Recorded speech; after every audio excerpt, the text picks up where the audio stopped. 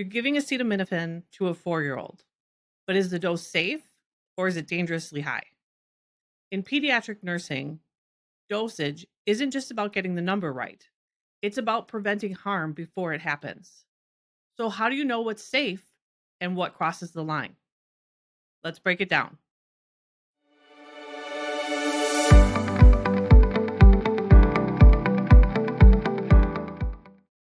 Before you even touch a calculator, you need to know what a safe dose range is and why it matters more in pediatrics than anywhere else. Unlike adults, pediatric meds are dosed by weight, not age. That means every med order must fall within a calculated safe range, measured in milligrams per kilogram per day and divided by the number of doses per day. If you skip this step, you risk giving too little to be therapeutic or too much to be safe. Here are three steps to help you calculate the safe dose range.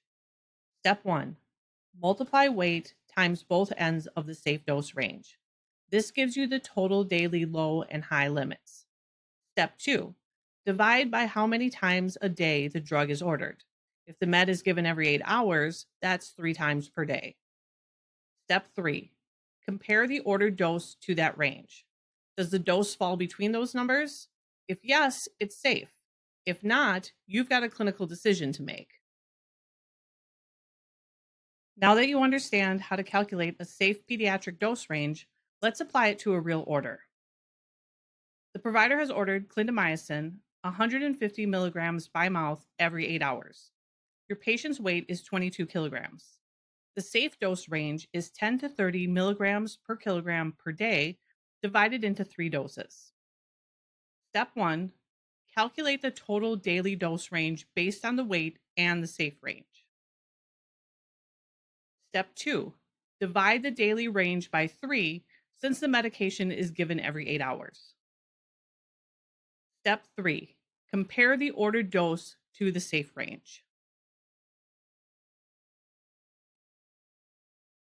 Now let's walk through another example together. This one's a little trickier, so follow each step carefully. Provider orders gentamicin 35 milligrams IV every 12 hours. Your patient's weight is 15.5 kilograms. The safe range is 5 to 7.5 milligrams per kilogram a day, divided into two doses. Step 1 Multiply the weight by the low and high ends of the safe range to get your total safe daily dosage. Step 2 since this med is ordered every 12 hours, divide that range by 2. Step 3. Compare the ordered dose to the calculated safe range. All right, now it's your turn. Can you figure out if this dose is safe or dangerously high? Pause the video here and try it on your own. Then restart the video and see if your judgment matches mine. Did you get it right? Let's walk through it. Step one start by getting your total daily safe dose. Step two we're giving this every six hours, so divide by four. Step three compare the order to your safe dose range. 300 milligrams is dangerously high.